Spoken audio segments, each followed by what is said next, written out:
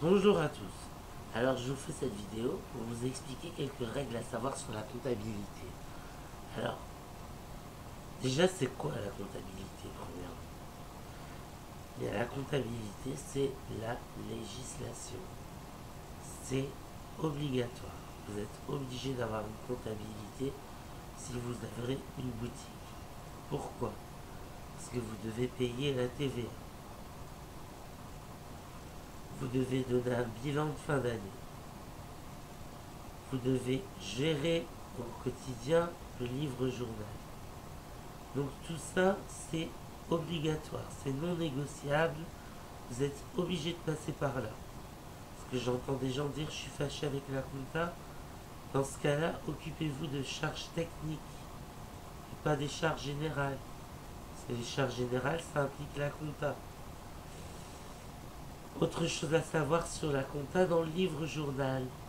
Quand vous faites une erreur, parce que vous ne devez pas faire de rature, qu'est-ce qu'on fait? Eh bien, on compense par une, une, euh, une écriture similaire. par exemple, vous notez recette 60 euros, en fait, c'est une dépense. Et eh bien, du côté dépense, vous mettez erreur 60 euros. Et après, vous remettez dépense 60 euros, par exemple. Comme ça, on sait que les 60 euros qui sont du côté des, des, recettes, c'est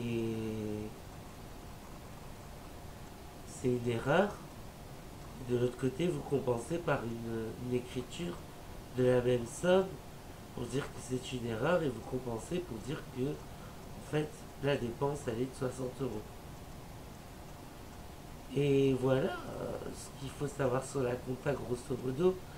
Le bilan. Alors le bilan. Tout ce que vous faites est déclaré. Tout ce que vous faites. Sur la toile, en ligne, tout ce que vous faites est déclaré. Il y a juste qu'on vérifie que vous aussi vous déclarez ce que vous faites. Donc ça fait un bilan en fin d'année.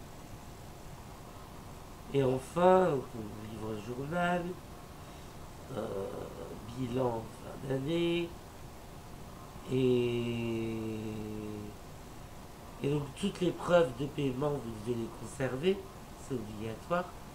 Et donc, pour corriger une erreur, donc vous faites une écriture euh, compensatoire pour compenser l'erreur que vous avez faite, mais il ne doit pas y avoir de rature.